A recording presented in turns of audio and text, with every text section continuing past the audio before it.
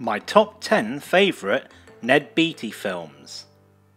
Ned Beatty was born on the 6th of July 1937 in Louisville, Kentucky, USA.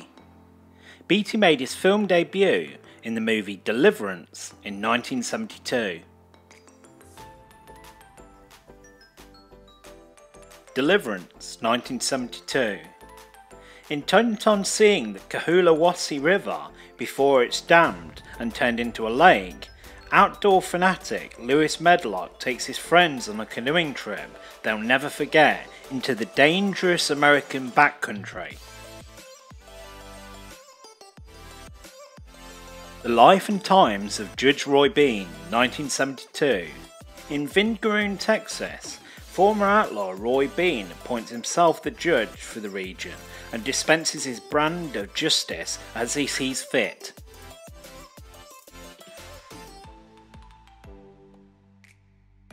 White Lightning, 1973. An ex-con teams up with federal agents to help them with breaking up a moonshine ring.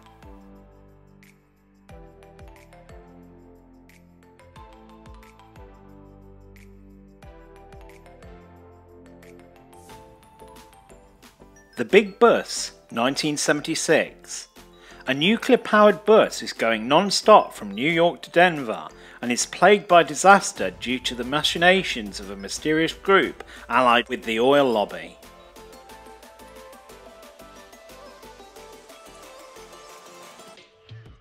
Network, 1976. A television network cynically exploits the deranged former anchor's ravings and revelations about the news media for its own profit.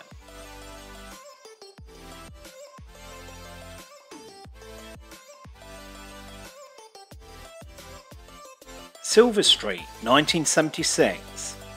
On a long distance train trip, a man finds romance but also finds himself in danger of being killed or at least pushed off the train.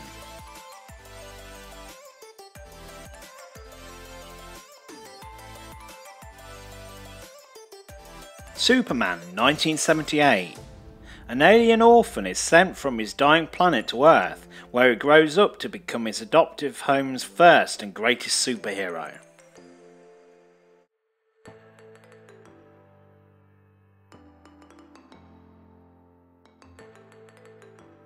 The Toy 1982. An unemployed reporter finds himself literally purchased as a toy for a rich spoiled brat.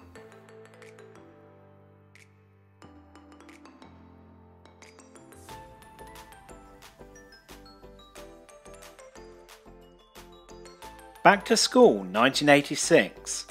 To help his discouraged son get through college, a fun loving and obnoxious rich businessman decides to enter the school as a student himself.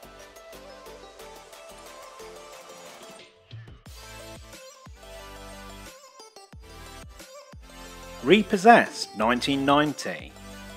Parody of The Exorcist 1973 with Linda Blair once again possessed by Satan and Leslie Nielsen as the exorcist.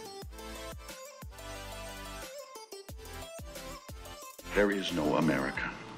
There is no democracy. There is only IBM and DuPont and Exxon. And you have meddled with the primal forces of nature. And you will atone.